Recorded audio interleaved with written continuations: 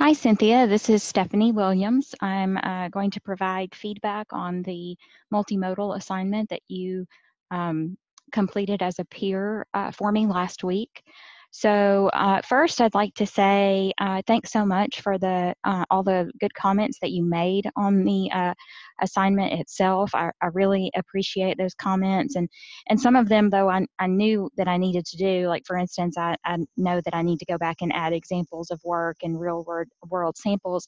I, I still was really um, thankful for your take on a, a, lot of the making sure that I define words and provide um, good instruction on visual language.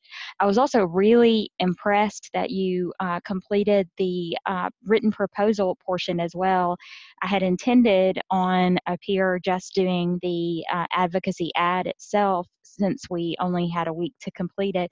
Um, but but you went above and beyond and, and did the written proposal, and, uh, and I really enjoyed uh, reading it. But the comments that I um, made for feedback are just on the ad itself.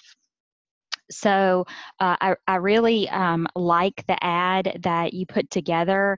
Um, this image that you found to use, uh, I mean, come on, we've got our pathos right there with the cute little puppy uh, needing to be saved.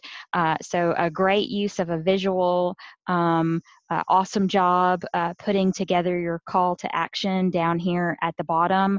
Uh, really the only um, major like suggestion that I would have made on this would have been just maybe uh, adding um, some color to grab some more attention and then perhaps even using this uh, caption here as uh, a larger portion of the uh, ad itself and just saving this the tiny um, caption uh, font for just the source documentation itself. And then I, I just copied uh, the grading rubric at the bottom because that's what I would return to students along with comments. And so uh, I did that here.